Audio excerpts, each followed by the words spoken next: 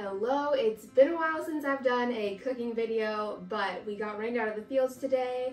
I actually got a workout in, some extra work done for Heart of the Midwest, a shower, and I'm in my comfy clothes all before it's 5 o'clock in the evening. So this is a rarity, and I am so excited to go ahead. I was slacking on my field meals this year, so I'm gonna go ahead and make one of my favorite like comfort meals, easy meals to just throw together really quickly and use up some vegetables in your fridge that are about to go bad. Um, and I'm actually going to freeze them for some field meals coming up. But today we are making beef bulgogi. What is this? I always say it wrong. Beef bulgogi bowls. So all you will need a pound of ground beef, a little beef bulgogi marinade, basically Korean barbecue sauce. I have a medium yellow onion that I just roughly chopped up a couple of carrots, um, about a cup and a half of broccoli, some green onions, sesame seed, and rice. You can totally use whatever rice. I love these things. They make it so much easier. Um, and somehow I always screw up cooking rice. So I love these little microwavable things. Uh, they're just like a cup each and which is perfect. And of course, the most important thing for this, a little bit of wine, which I am very much enjoying after. I think we've been in the fields. We rained out last night, but it's been like three weeks. So definitely taking advantage of having just like a chill night at home. All right, so I just poured in just a little bit of olive oil into a pan here on the stove. I've got it on medium-ish. And then I'm just going to go ahead and toss those onions in. I don't think it's quite heated up all the way yet.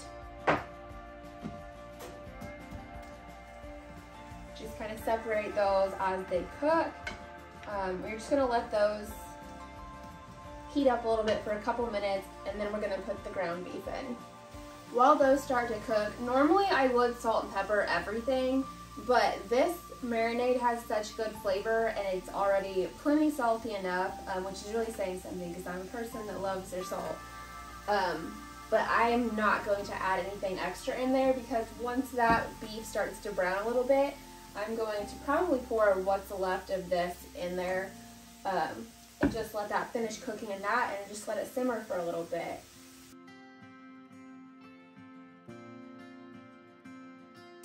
So if I'm correct, I've had it in restaurants, but I've never actually made it myself.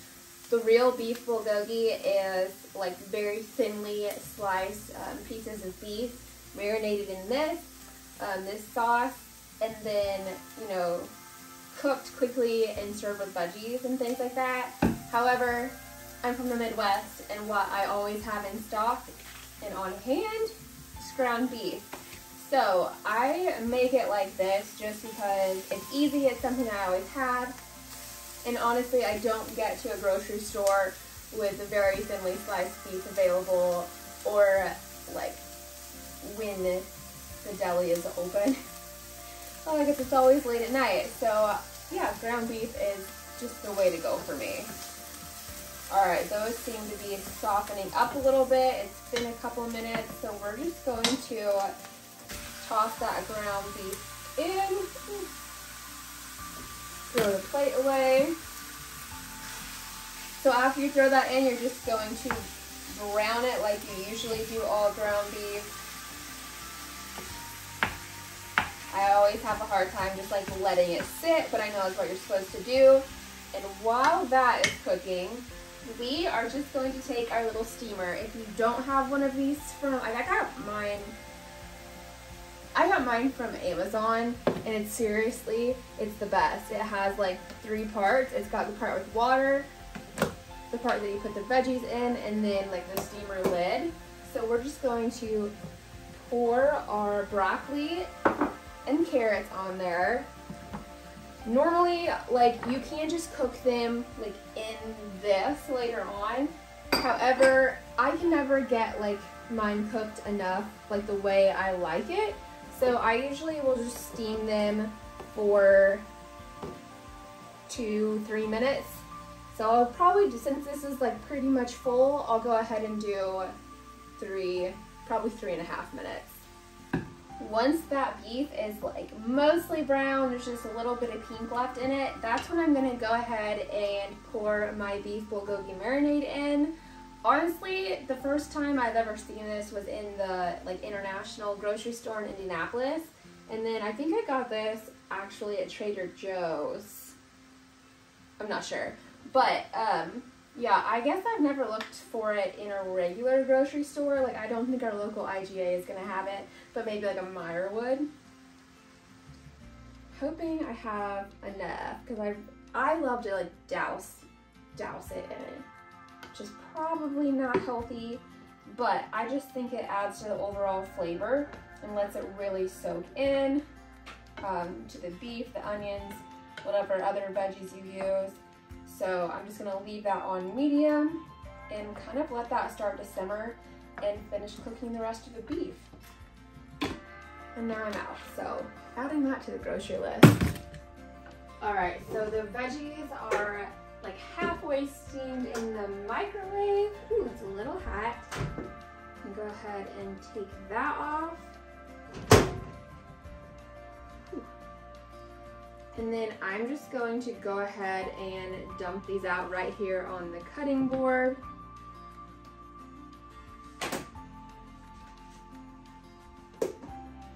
And I'm just going to kind of give them a rough chop, mainly to get the carrots, just to get it into smaller pieces, kind of like the onions, just a rough dice.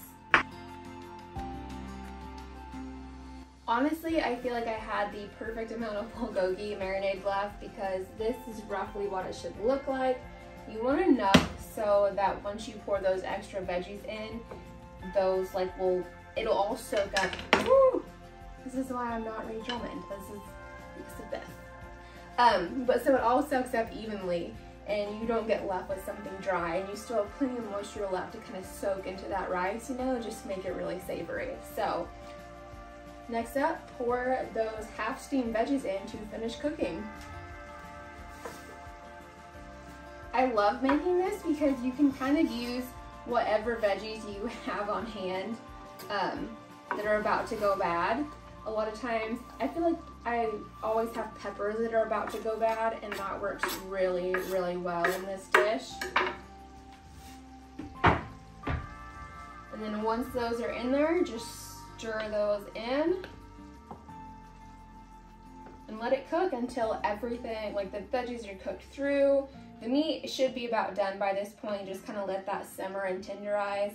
Just soak up all of that flavor in the bulgogi marinade. Yeah, so this, this is my favorite part where you just get to watch it. Ooh, again, not Ree Drummond, and have your glass of wine and really enjoy your day off from the field. All right, so once everything is good and cooked, we're just going to go ahead and take that off the heat. Turn your stove off. I always seem to forget to do that. And then I've just gone ahead, I love, like I said, I love those little minute rice things. You can just microwave them.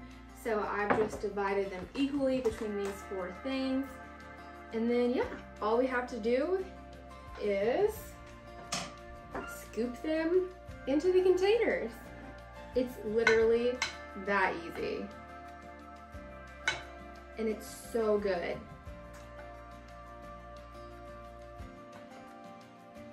I feel like this would be like the perfect like weeknight family meal for like the very busy family because all of that, those good drippings are gonna just soak right into the, the rice. Then we're gonna come in with our green onions just gonna sprinkle a few of those on top. And of course, you can't forget the sesame seeds. And there we have it. Literally one of my favorite comfort meals, my favorite meal to just like make super quickly. Um, it's somewhat healthy and curl up on the couch and watch a good movie. So thank you guys so much for watching. Let me know if you make it Seriously, it's so good.